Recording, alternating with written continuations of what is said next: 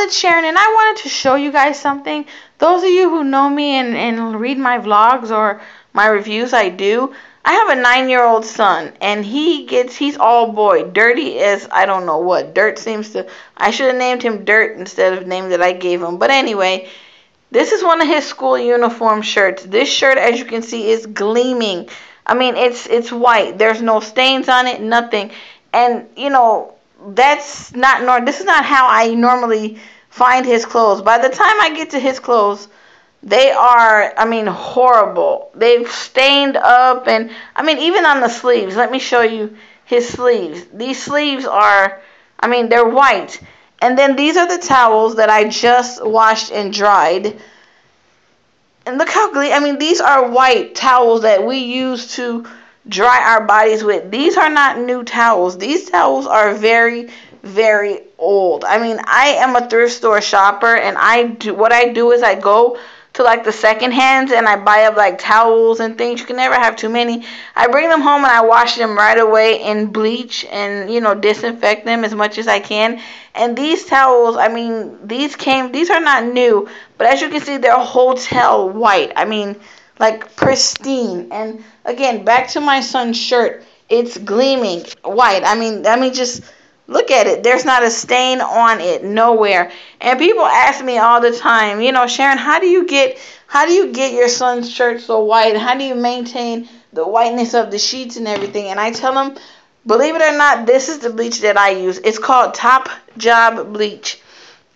It's a generic, I think a generic form of bleach. I don't know. This bottle's empty, but this is what I use. I do not use Clorox. I did use Clorox.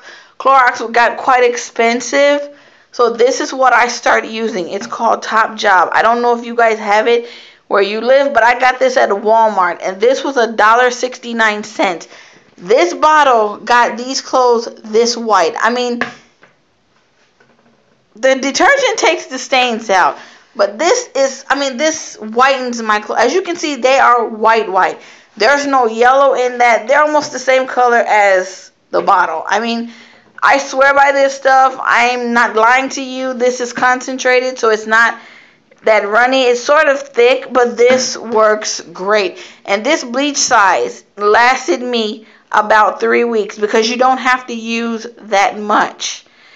I mean, I, I'm flabbergasted. I cannot tell you. Again, if you guys have kids and, you know, they have to wear the white shirts for school for their uniforms, and who's got money to constantly be buying uniforms? Nobody. I mean, buy it. Everybody's like, oh, generic bleach is this and that. I have no problem with this. I mean, I just put in my, I fill up my machine. I put this in there, uh, uh, like I use a measuring cup and then I throw my clothes in and my detergent or whatever, and I mean it gets the stains out.